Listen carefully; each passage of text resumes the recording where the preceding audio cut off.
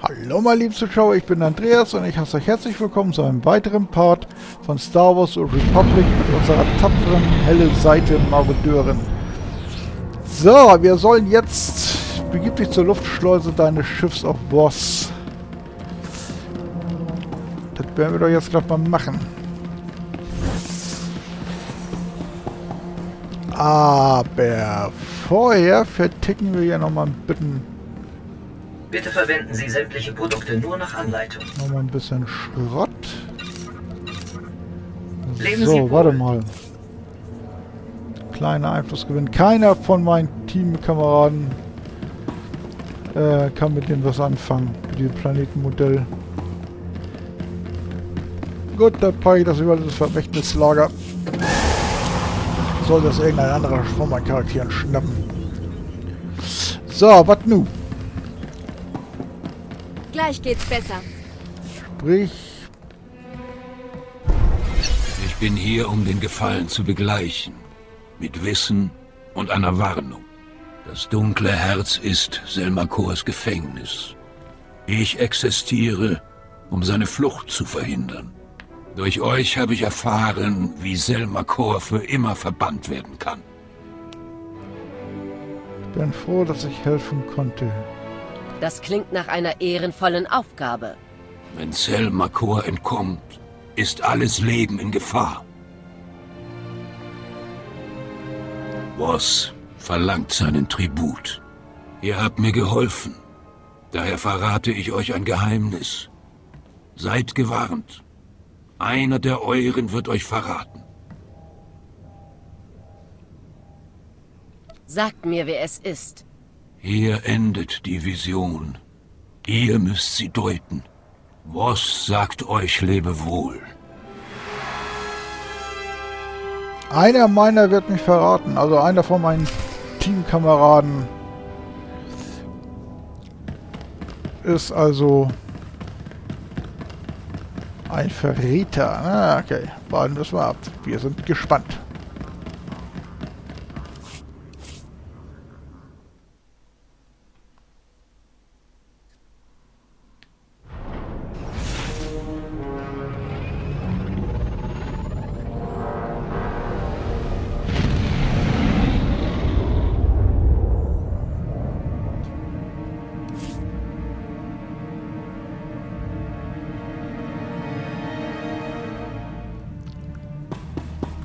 So, jetzt wollen wieder äh, Pierce, Quinn, Bronmark, Wert, Jessa, alle wollen sie jetzt mit mir reden. Gut, dann fangen wir mal mit den neuen Zottelheini hier an. Ah, Quatsch.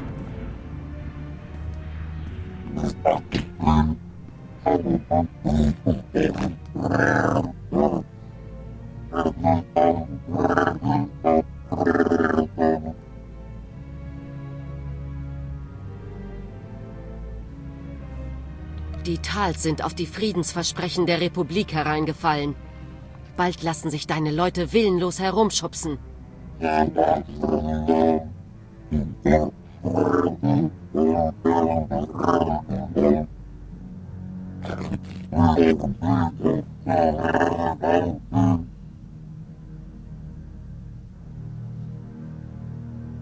Wir werden nicht aufhören, bis die Republik dezimiert ist.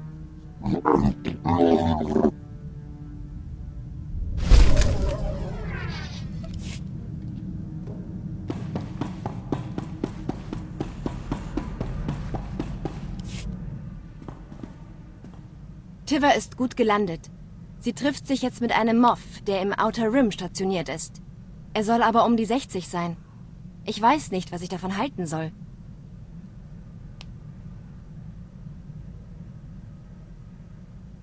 Wichtig ist nur, dass sie sich verstehen und Gefühle füreinander haben. Ja, wahrscheinlich habt ihr recht. Wie auch immer, der alte Moff hat wohl jede Menge Kontakte im imperialen Geheimdienst und ich glaube, er hilft ihr Mutter zu finden.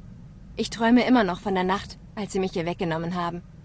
Sie kamen und zerrten mich von meiner Schlafmatte. Ich habe nur geschrien und geschrien.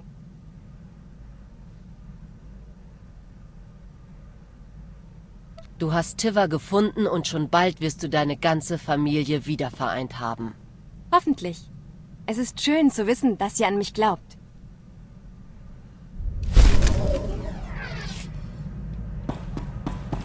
So, dann reden wir jetzt mal mit Quinn.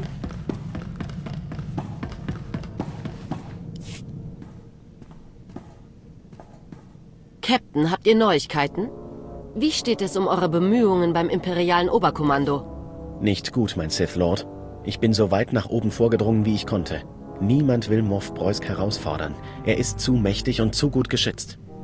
Er wird dienen, bis er stirbt oder freiwillig zurücktritt. Und das wird er wohl niemals tun. Ich sehe schon. Ich muss mich selbst um Breusk kümmern. Ein für alle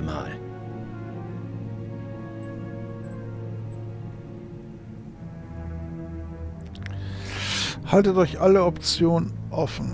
Ich denke auch, dass man Breusk konfrontieren muss. Aber ihn zu töten wäre der letzte Ausweg. Ihr seid berufen, Quinn. Zieht los. Ich bin bereit, mein Sith Lord.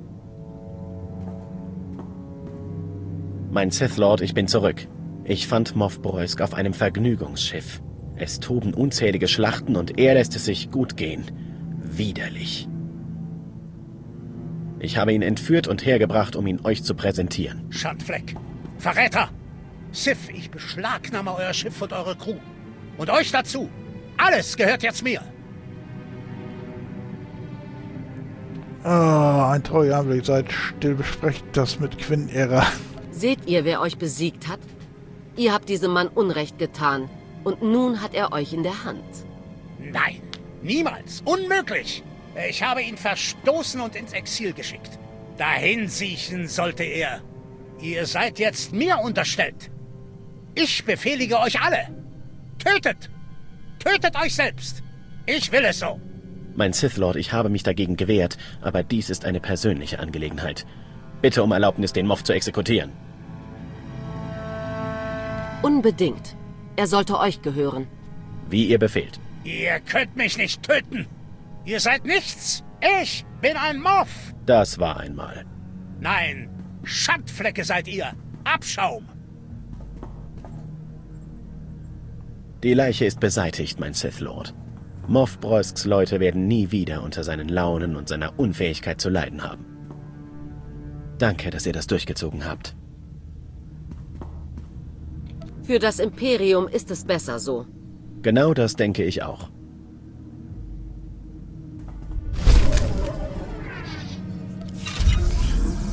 Gut, der Eierkopf, der wird uns nicht mehr nerven. Ich habe gerade die Treibstoffeinspritzung des unterlichen Geschwindigkeitsantriebs gesäubert.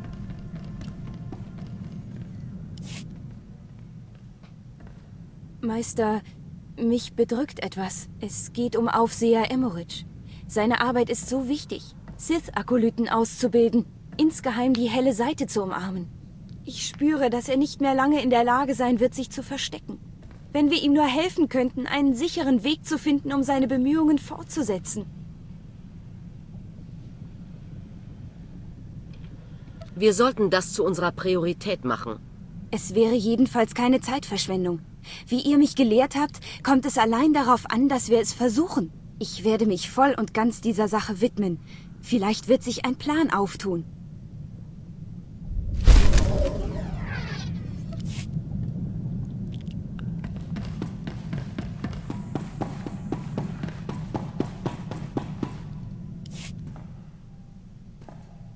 Ich bin jetzt fast bereit für den Angriff auf die Bastion.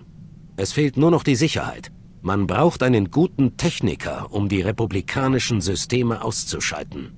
Unserer heißt Sergeant Alos, kam als Rekrut zu uns, versucht ständig sich zu beweisen, hätte ihn fast ruiniert, als das Tarnkommando aufgelöst wurde.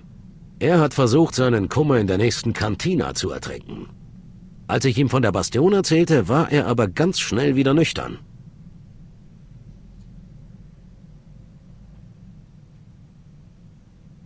Der Sergeant wurde dem Tarnkommando sicher nicht grundlos zugeteilt. Lorand hat ihn gefunden. Er war gerade dabei, seine eigene Dienstakte zu hacken. Arlos konnte kaum einen Blaster halten, als er zum Tarnkommando kam. Wir haben ihn ermutigt, seinen Verstand einzusetzen. Nach unserem letzten Angriff wurde er Sergeant. Könnte wieder eine Beförderung drin sein, wenn bei der Bastion alles gut läuft. Euer Sieg wird von seiner Leistung abhängen.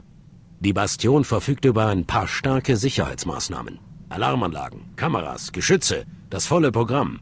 Wenn jemand da dran vorbeikommt, dann Arlos. Ich habe vor ein paar Tagen von dem Jungen gehört. Er meint, er hat ein paar wichtige Informationen. Er hörte sich noch nervöser an als sonst. Wir finden heraus, warum. Aber ich kann doch nichts für billige republikanische Tricks. Wer benutzt denn schon einen geschlossenen Schaltkreis? Und das in der Bastion? Da habe ich von meinem Sturmgewehr schon bessere Ausreden gehört. Habt ihr die Pläne schon besorgt? Nein, ja, zum Teil. Ich habe den Plan vom Erdgeschoss. Das sollte reichen, um zur Zentralsteuerung zu kommen. Und welche Überraschungen erwarten uns dort? Das sollte eigentlich eure Arbeit sein, Arlos. Wenn das Tarnkommando so arbeitet, bin ich ganz und gar nicht beeindruckt. Aber wenn ihr ihren Code sehen könntet, mein Sith Lord, geschweige denn ihre Schaltung.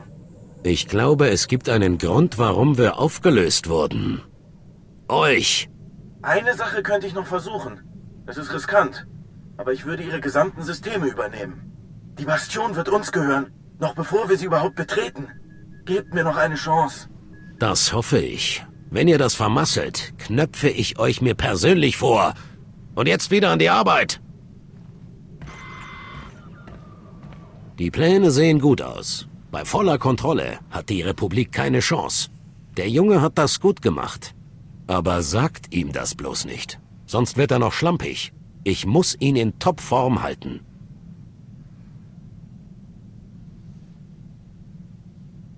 Kein Offizier des Imperiums würde einen Fehler von ihm dulden. Und auch kein Sith Lord. Wenn Arlos nicht lernt, könnte ihn das seinen Kopf kosten. Die Vorbereitung ist abgeschlossen. Das Team ist bereit. Sobald General Rakton den Befehl gibt, schlagen wir zu. Hoffen wir, dass das bald geschieht. Ich brenne darauf, die republikanischen Flaggen in Flammen zu sehen. Ja, erst wird Leib und Seele ein Imperialer. Gut, jetzt benutzen wir mal das Holo-Terminal.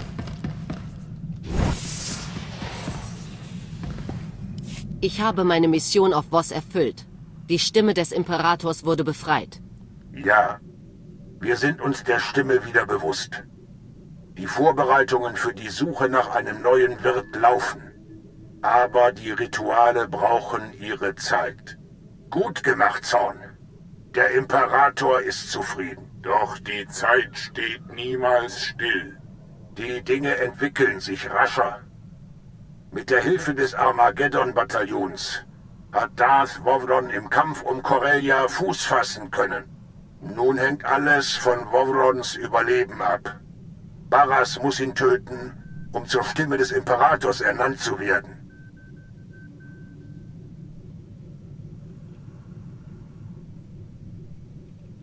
Wenn Barras erledigt wäre, müssten wir uns um den Rest gar nicht mehr kümmern.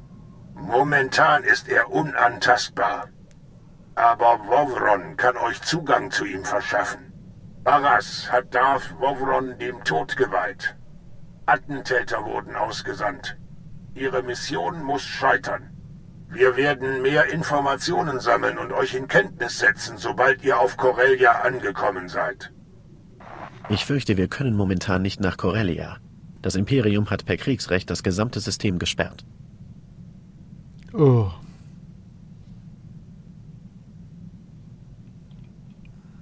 Ich möchte sehen, wer sich traut, sich mir in den Weg zu stellen. Die Blockade kann nicht durchbrochen werden. Die imperiale Flotte wurde mit speziellen Transpondern ausgestattet. Jedes Schiff ohne solch einen Sender würde sofort auffallen. Hm, von einer solchen Anordnung habe ich noch nie gehört. Ich habe Barras Kommunikation überwacht, Lieutenant. Er hat den Befehl erst kürzlich gegeben. Wahrscheinlich, um uns von Corellia fernzuhalten. Ohne einen Sender mit Freigabe für Corellias Orbit werden wir abgefangen, sobald wir das System erreichen. Aber ich glaube, dass ich eine Lösung habe. Quinn ist der Verräter.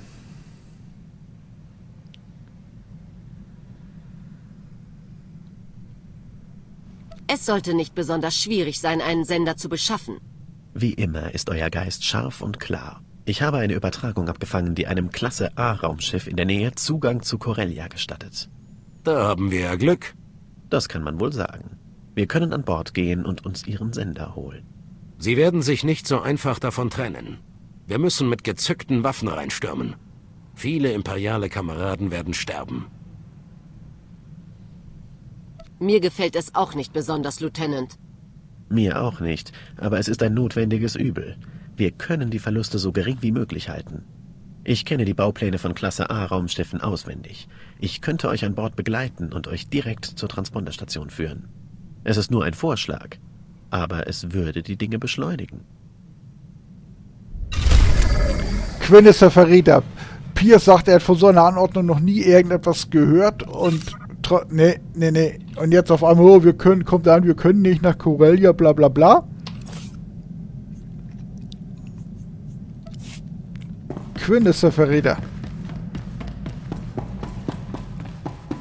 So, jetzt ticken wir nochmal ganz schnell. So, warte mal, jetzt packen wir mal hier in das Vermächtnislager. Ja mal. So.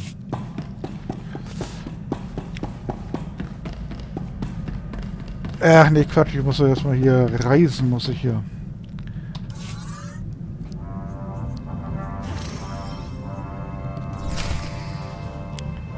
So, warte mal, ich nehme dann jetzt auch mal Quinn mit. Oder der wird wahrscheinlich automatisch mitgenommen werden.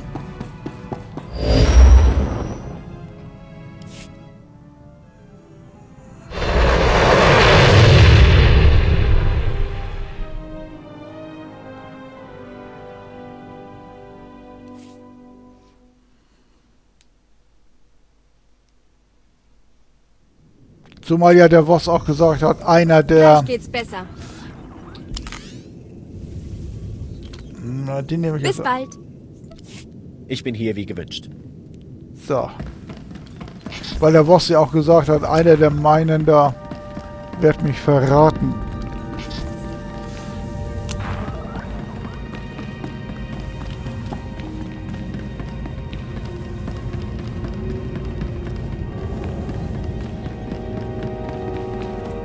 Guck mal, hier sind gar keine Soldaten, nichts, nur Patrouillen. Okay, gut. Da sind wir.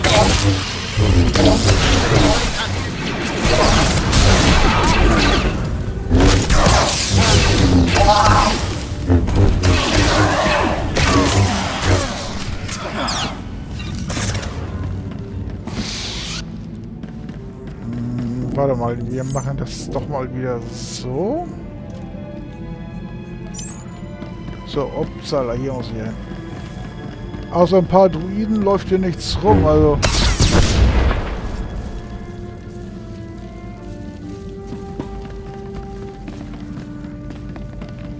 Wo ist denn jetzt hier die Besatzung?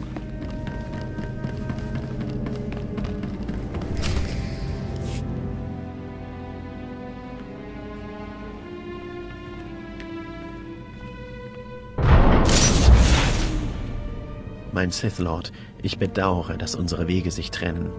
Aus Respekt wollte ich dabei sein, um euer Schicksal zu erleben. Habe ich doch gesagt. Das hört sich nicht gut an. Ihr macht das immer so dramatisch. Was soll das heißen? Welches Schicksal, Quinn? Wovon redet ihr? Das ist sehr schmerzhaft für mich, aber das alles war eine Falle. Es gibt kein Kriegsrecht und keinen speziellen Signalsender. Baras ist mein wahrer Meister. Ich habe euch hergelockt, um euch zu ermorden. Ich habe für euch gekämpft, ja, warum auch nicht? Nach allem, was wir durchgemacht haben? Ich habe euch sogar geholfen, Moff Breusk auszuschalten. Ihr habt mir sehr geholfen, ja. Deshalb handle ich heute schweren Herzens. Aber ohne Baras hätte ich überhaupt keine Karriere machen können. Ich wollte nicht zwischen euch wählen müssen, aber er hat mich dazu gezwungen und ich muss mich auf seine Seite schlagen. Sobald ihr tot seid, wird eure Crew sich entweder Barras und mir anschließen oder sterben. Baras denkt nur an sich, Baras widersetzt sich den Imperator. Ihr seid ein Narquin. Ihr wisst, für wen ich jetzt arbeite, Captain. Wenn ihr auf Barras Seite steht, seid ihr gegen den Imperator persönlich. Der Imperator herrscht, aber er ist nicht hier. Barras tut, was jeder echte Patriot tun würde. Nachdem ich euch die ganze Zeit im Kampf beobachtet habe, kenne ich eure Stärken und Schwächen zur Genüge. Diese Kriegsdroiden wurden speziell für den Kampf gegen euch programmiert. Ich habe eine Chance von beinahe 0% berechnet, dass sie versagen.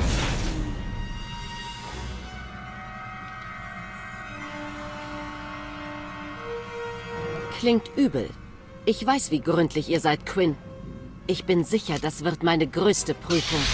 Und wenn ich recht habe, eure letzte. Es tut mir leid, dass es dazu kommen musste, mein Sith Lord.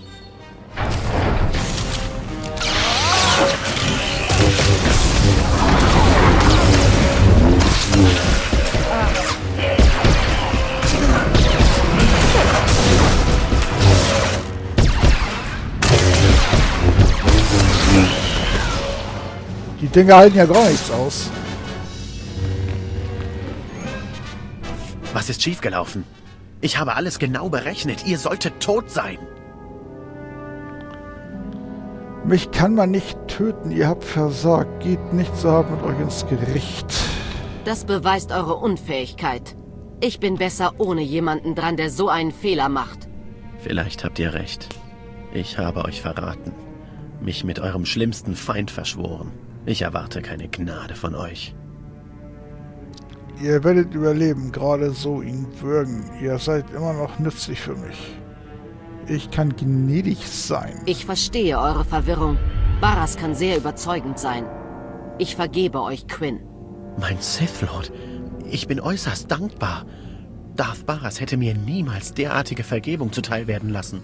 Wenn ihr mir gestattet, weiter unter euch dienen zu dürfen, werdet ihr meine Hingabe niemals wieder hinterfragen müssen.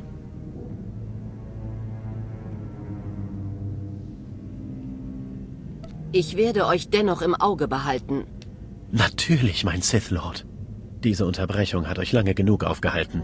Ich kann es kaum erwarten, zum Schiff zurückzukehren und das hinter uns zu lassen.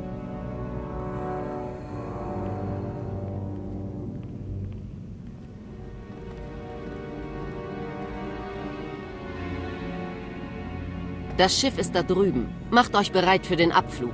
Ich werde in Kürze folgen. Natürlich, mein Sith Lord.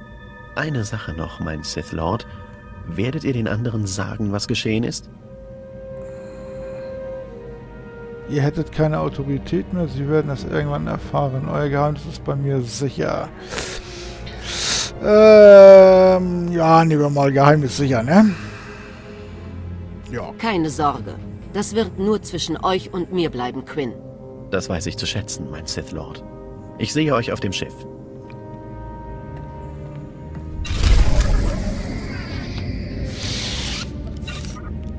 So.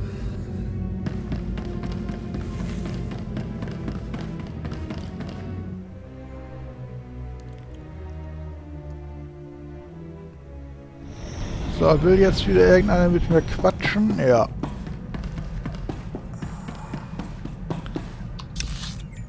Quinn will quatschen. Pierce. Und Bett. Mit denen reden wir jetzt nochmal. Sie hat sie gefunden! Sie hat sie gefunden! Mutter wurde vor Jahren an einen Hutten auf Tatooine verkauft. Sie arbeitet dort in einem kleinen Geschäft. Tiva hat sie gefunden und ist schon auf dem Weg nach Tatooine. Wir müssen sie treffen, so schnell es geht.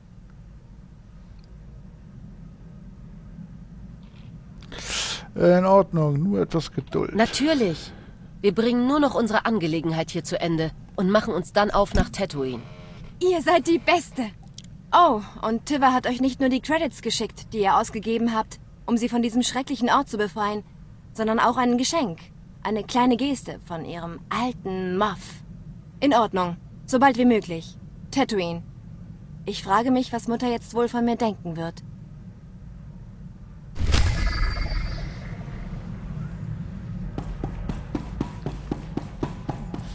So, jetzt reden wir mal mit Pierce. Und das Gespräch mit Quinn heben wir uns dann für den Schluss auf. Ich habe eine gesicherte Nachricht von General Rakton erhalten. Das werdet ihr hören wollen. Mein Sith Lord, ich habe die Meldung von Lieutenant Pierce erhalten. Ich habe das Tarnkommando wieder eingeführt und das Team von seinen bisherigen Pflichten entbunden.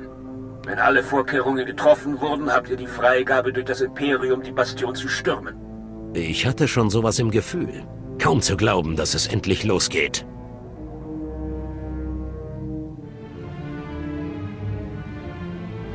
Spielt den Rest ab. Ich will Raktons vollständige Einweisung hören. Aufgrund der massiven republikanischen Präsenz bei der Bastion haben wir besondere Vorkehrungen getroffen, um das Team von Pierce in Reichweite zu bringen. Ihr werdet eine Fähre mit republikanischen Verstärkungen infiltrieren, die in das Gebiet unterwegs ist. Wir haben die entsprechende Tarnung bereits vorbereitet. Das Überraschungsmoment ist entscheidend. Daher muss ich euch bitten, zurückzubleiben, mein Sith Lord. Eure Anwesenheit würde unsere Pläne verraten. Äh, das soll wohl ein Witz sein. Unsere Pläne verraten? Es wird ja wohl eine republikanische Uniform in meiner Größe geben. Sie werden Jedi dabei haben. Keine Uniform könnte eure Macht verstecken. Ihr habt diesen Angriff ermöglicht, mein Sith Lord. Die Ehre gebührt euch, falls Pierce mit seinem Team erfolgreich ist. Das Imperium vertraut den Sieg dem Tarnkommando an. Ich hoffe, dieses Vertrauen wird nicht enttäuscht. General Rakton, Ende. Das Team hat seine Anweisungen. Ich muss jetzt gehen, wenn ich rechtzeitig am Treffpunkt sein will. Wenn die Bastion fällt, wird die Republik unsere Macht erkennen. Und auch das Imperium. Genau so mag ich es.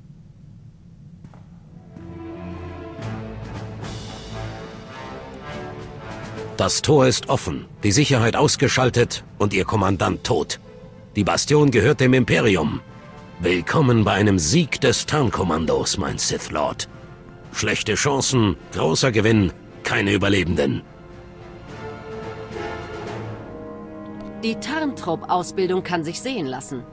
Ich sorge dafür, dass ihr alle einen Orden erhaltet. Das ist gut. Die Bastion war kein Routineangriff. Es gab ein paar Probleme. Tranidos Waffe hat an Energie verloren. Ein paar von Dorans Leuten sind gestorben. Arlos hat beim Hacken ein System ausgelöst. Ich habe selbst auch was abbekommen. Wird eine Zeit dauern, bis das geheilt ist. Ich gebe euch Bescheid, wenn ich für eine umfassende Nachbesprechung bereit bin.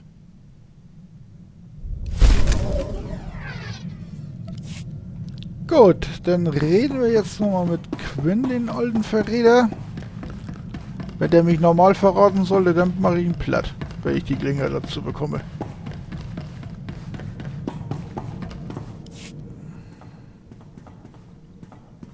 Ich sammle Berichte von allen imperialen Truppen. Unter den Leuten herrscht allgemeine Erleichterung darüber, dass Moff Breusk nicht mehr eingreifen kann.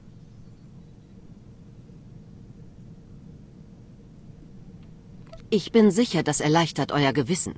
Ich sehe keinen Konflikt in meinen Handlungen. Breusk war eine Geißel des Imperiums. Ihr zeigt mir da ein neues Ideal auf, mein Sith Lord. In Zukunft improvisiere ich mehr. Ich glaube, es wird mich zu einem besseren Offizier machen. Worauf ihr euch verlassen könnt, Quinn. Ich werde euch nicht enttäuschen, mein Sith Lord.